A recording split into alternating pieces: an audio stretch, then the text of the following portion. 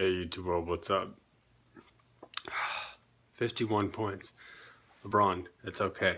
It's okay. Look, if J.R. Smith is looking for a job, I believe my job's, my company's hiring though. So we, we could always take him. Though he does have to like dribble though when, you know, you're supposed to shoot with less than four seconds to go. But hey, sometimes people just, mind is not where the body is though.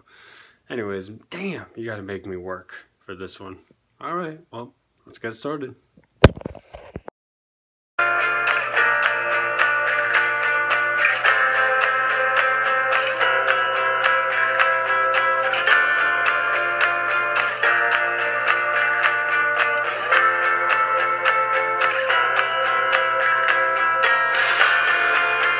shadow and the smoke in your eyes.